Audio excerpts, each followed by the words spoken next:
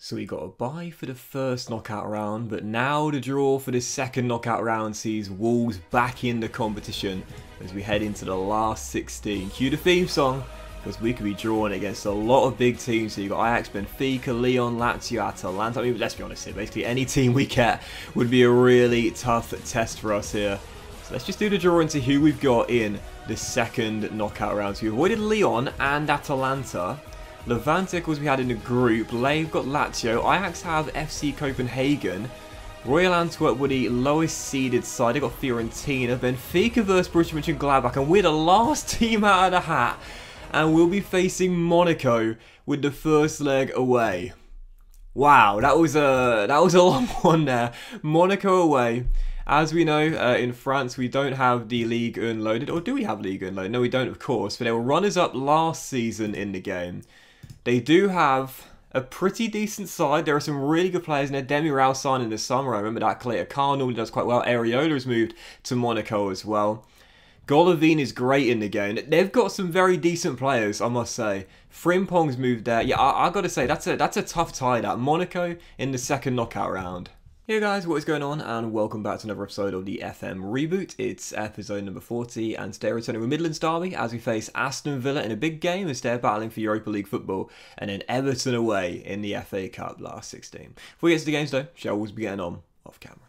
And not much to show you after the last episode where we agreed the sale of Ruben Neves for a Docs record 143 million uh, to Barcelona. That's of course going through in the summer. And our 1 0 victory over the Owls Sheffield Wednesday in the FA Cup fourth round play for the month of February. And as you can see, two wins and a draw in the Premier League and three straight clean sheets. This will be quite quick actually. Started off with a 1 0 victory away in London against West Ham. Fabio Silva heading in a Buendia corner in a simple victory there. Then a late one, a victory against Leeds by a goal to nil at Molineux. They went down to 10 mil a few minutes ago and we punished them for their man disadvantage. Raul Jimenez off the bench rescuing us. How many times have I said that? Rounding the goalkeeper and slotting in the only goal of the game. And the third and final game off camera was a goalless draw away at Stamford Bridge against Chelsea, a side we're battling with for top four football.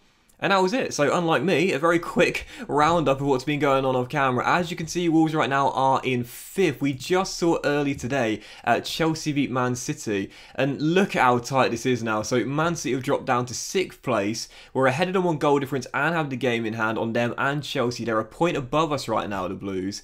And we're only three points behind Arsenal, though they've got a game in hand on us and two in front of Chelsea and Manchester City. So yeah, 11 games to go and it's so tight. I don't feel we're going to finish any lower than sixth at this point, but I mean, really, third to sixth, it's I'd say that's where we're going to finish, but where we finish, we really don't know. It's tight.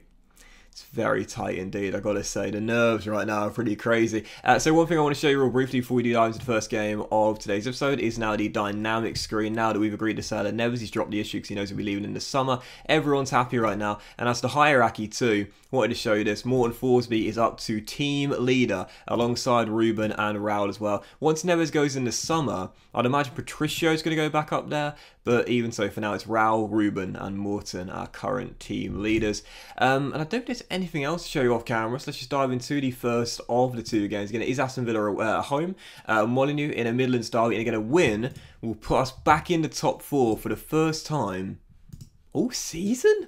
Not entirely sure. But um, yeah, so heading to the game, this will be our team. Uh, two players are down right now, Trincao and Diego Jota. Sorry, seeing what day the uh, FA Cup uh, quarterfinals coming. Trincao and Jota are both down with injuries right now. Uh, Jota might come out for the Everton game. Trincao probably won't feature today. And this will be our team. Patricio is in goal. About four is Ait-Nouri, Eric, Big Chris and Semedo with Neves and Thorsby through the middle. Traore and Neto, the inside forwards, and Buendia sports Fabio Silva up top. On the bench, Bettinelli, McTominay, uh, Williams, Keita Jordan, Ward-Prowse and Jimenez as well.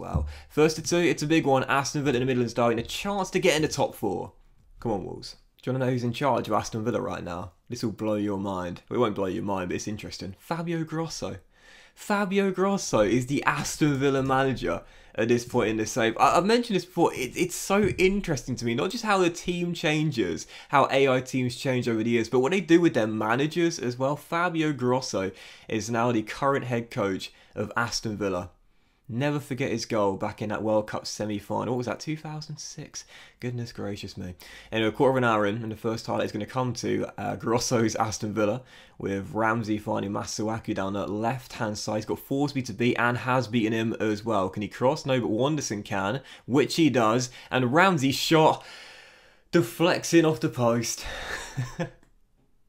Seems like every episode there's something like this happening to us. Again, I'll always say it, luck will balance itself out. And we've had quite a bit of good fortune in the save, but Lord knows we've had a lot more unlucky moments like this. Ramsey's shot takes a massive deflection off Ait-Nouri and clips it off the post. I'm surprised he can claim that, because it looked like it was probably going wide towards the other post. Chance to get into top four, and we're bottling it. Typical Wolves. Plenty of time. Plenty of time though as Thorsby crosses and Silva heads over. And just frustrated because again, statistically, we're doing fine out there, but still find ourselves trailing. Sometimes you just got to accept that things probably aren't going to work out the way you want them. No matter how hard you try, no matter how badly you crave it, it's just not going to happen for you. I feel like that's how I've got to accept things with Wolves, you know? I don't know. I don't know what it is about this Wolves team. It's like every other save I do, I'm like, I know in like seven, eight seasons we'll be there. But this being our fourth, we're such a great team, and I'm still thinking, is it just this team? Are we just cursed? Am I a fraud? I mean, yes to that one, obviously, but still, right before the break, a chance to find our level. A Silva to Traore, go on Adama, bends it off the post, and Aston Villa escape. We're so unlucky to be trailing. Free kick, 25 yards from goal, and a golden chance to find a leveller.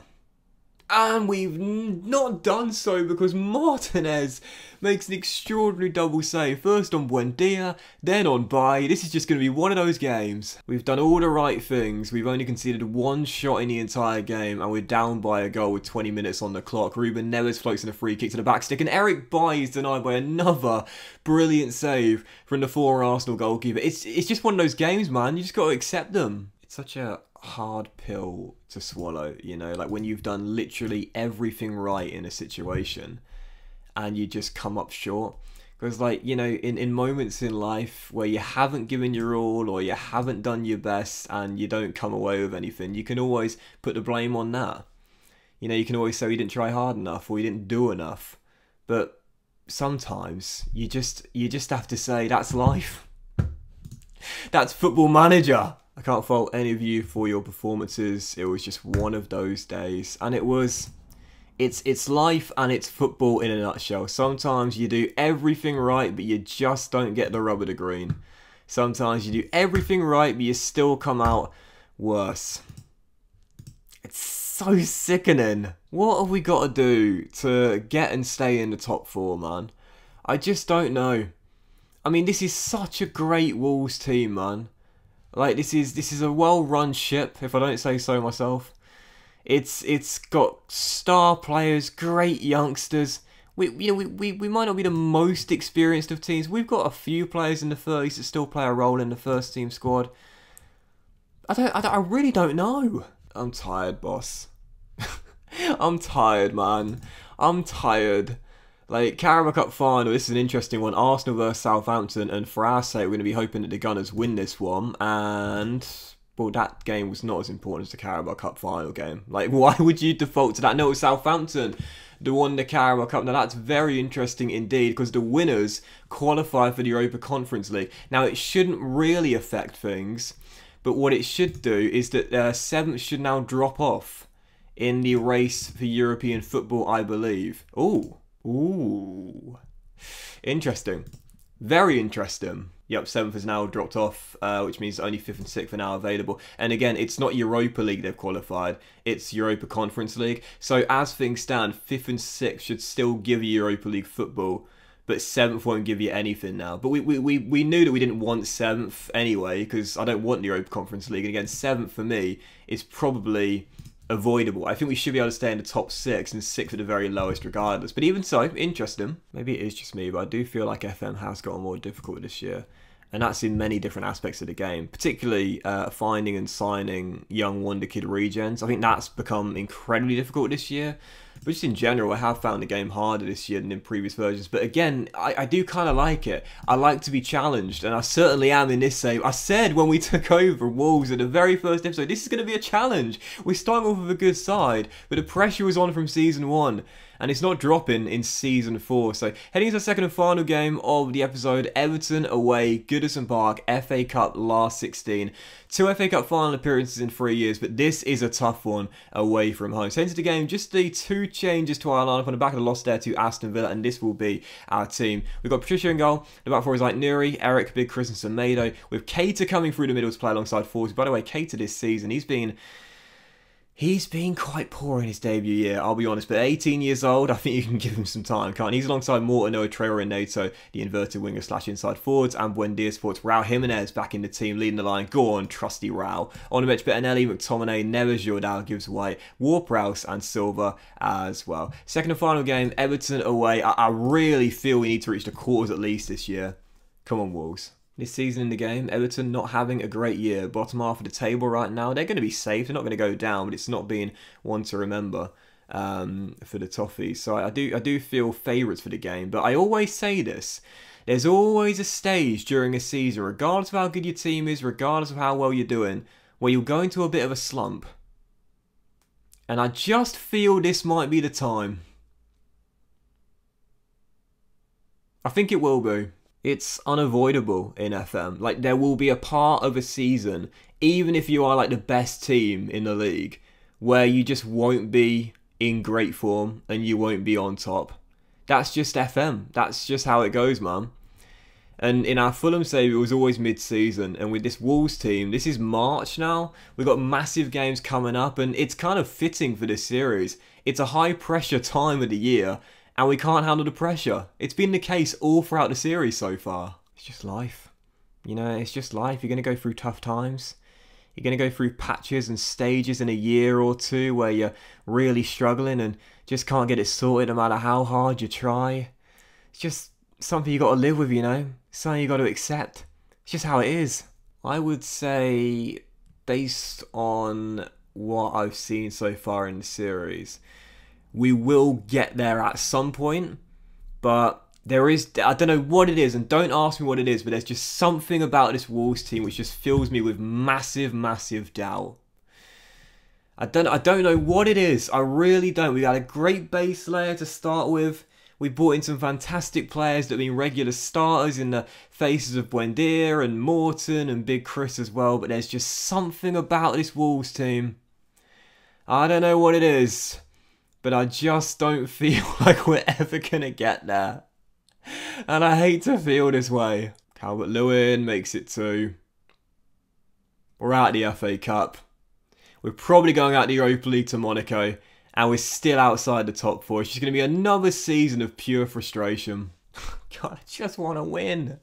I just want to win something before this save ends. I don't care what it is, man. Seriously. I mean, not the Europa Conference League, but something. Obviously, ordinarily, like when you're gonna end a save, it's when you've won the Champions League, you know, or you've like had an undefeated season, which I'm never gonna have in FM.